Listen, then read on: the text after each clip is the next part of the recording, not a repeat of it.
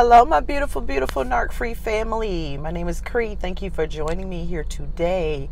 Um, I just wanted to have a little chit chat with you all about your energy. And y'all don't mind the, um, some of y'all may know, and some of y'all may not know that I have another um, YouTube channel where I do DIYs. And I have not worked on that channel in a long time. And then I saw these couple of chairs on the side of the road and I picked them up to use to work on that channel. So y'all just act like y'all don't see those little chairs back there. But um, what I wanted to say is that when you're shifting your focus, it's very important. It is highly imperative. I hope I'm using the right word it is imperative. I don't know if you can put highly in front of it, but that you shift your focus off of all the crazy making. Okay. Um, remember that a narcissist is someone who's mentally unstable, they're mentally unhinged. Okay. So they are going to do things to you, and you need to understand that you cannot take any of it personal. They either see you as on their team and helping them with all their stuff, or you're not on their team and you're their enemy. And some of y'all know you have one that's trying to sabotage everything that you do. Some of y'all have had CPS called on you about your children, or they've, you know, denied your visitation with your kids, denied your uh, phone calls to your children, all these kinds of things.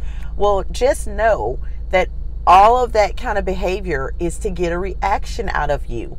The more you learn that that's what it is, the better that you can starve them of your reactions, okay? Because that's all they want. They want to be relevant. Some of y'all have been going through this so long that you can already predict what the narcissist is going to do next based off of their uh, previous behavior. So some of y'all know you, you're going to understand when they have reached their rock bottom. Like uh, maybe some of y'all, they've been trying to sabotage you for years, and then they do call uh, CPS on you, but you knew that they were going to do that.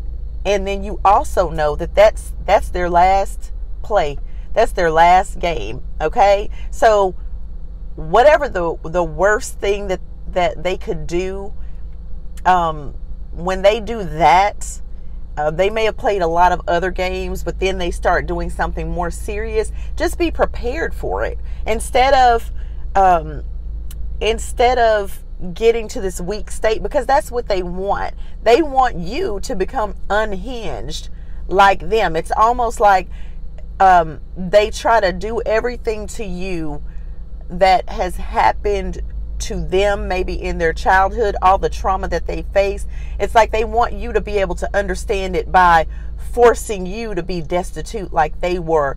Um, maybe you married them and they didn't have a um, a bed; they had an air mattress. But when they leave the marriage, they take the bed as if they're entitled to it. But remember, narcissists.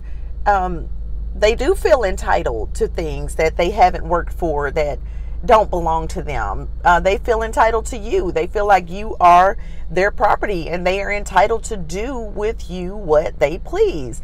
Now, but keep in mind, that's just the way they feel. That is not reality. So to rise above getting trapped because they're trying to trap you here, they're trying to trap you in your mind, okay?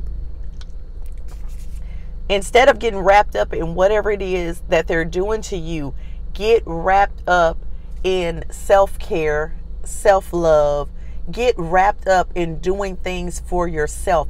Every time they uh, do another something crazy to you, have a list of things that are your go to things that you're working on, your goals, maybe. So maybe every time they they do something to you, you're working on paying the credit card off. Let's just say that. And so they do something else crazy to you, make an extra payment on your credit card, okay? So that now you've taken the focus off of what they're doing to you and on to chasing after your dreams of being debt free, okay? Or maybe they do something to you and you're wanting to travel. I love using that travel travel example.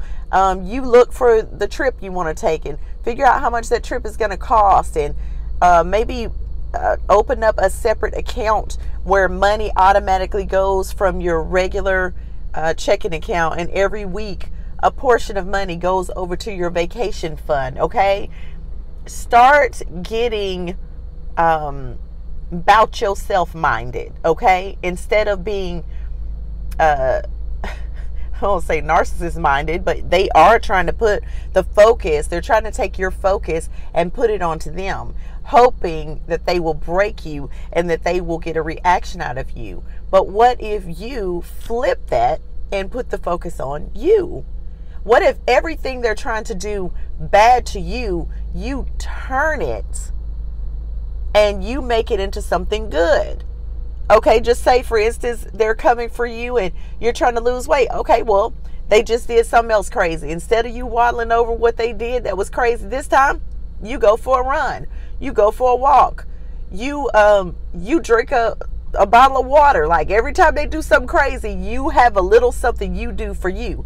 By the time you finish drinking that bottle of water, and by the time you finish going for that walk and listening to your music or your affirmations, you come back feeling brand new. And they know when your energy has shifted and it is no longer on them. And then they will come still doing higher levels of stuff like new level, new devil. But don't worry about that. You got higher levels of self love that you're going to put on your list. So every time they do something, your response is, I'm looking out for me. They they ain't crazy over here. I'm looking out for me over here. I'm going to my list. They trying to traumatize me. They mess with my children. I'm over here on my list, paying off that credit card. I'm over on my list, focused on, uh, you know, some place I'm gonna go for the weekend, some new restaurant. They over here acting a fool, acting a fool, acting a fool. I'm over here blessing up, blessing up, blessing myself, blessing somebody else. And y'all, I want to say this too. If you really want to take the focus off of the narcissist, find somebody you can be a blessing to. Okay. Um, if you, y'all that know about seed time and harvest, okay, some of y'all are avid tithers and you understand how seed time and harvest works. Sow seed into somebody's life. Um, say, for instance, someone's going on a trip and you want to travel, okay?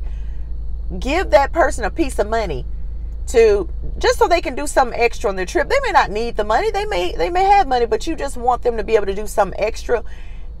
Sow that money and sow it with the intent that I want them to be able to do some extra and I want this narcissist off my back and I am going to put some some money where my mouth is. You don't have to tell them what you're doing, but you can sow into people's lives to get the ruminating to shut off because here you are now being generous with someone. You got all these problems. This narcissist is hunting you down. They messing with your kids. They doing everything. And instead of you getting caught up in what they're doing, you're shifting your focus. Oh, I got a friend who's going on a trip. I'm gonna bless them. I'm, I'm gonna I'm gonna give to them for this trip. Well, that's gonna take your focus off of the narcissist and it's also going to get good seed in the ground for something that you want to do. And I hope I hope y'all are getting that. The whole goal is to get your focus off of the narcissist. Their whole goal is to make themselves relevant and for you to always be focused on them. And so they acting a fool, acting a fool, acting a fool. And your goal is to be over here where you're looking at your list of goals, you're chasing after your dreams, you get your glow up. You you listen, get yourself some special coffee. Go to a a, a coffee place that you have you know never been to if you're a coffee drinker, whatever it is that you like, put a little extra on it. Get you a little something extra. Buy a bigger size for yourself. Try something different. You know, go sit down at a more expensive coffee place than you've been going to. Um, you know, go to to a bookstore shift your thinking by changing what you're doing. Okay? That's going to change the way you're thinking because now you've got to think about okay, well, where am I going to go to do this something different?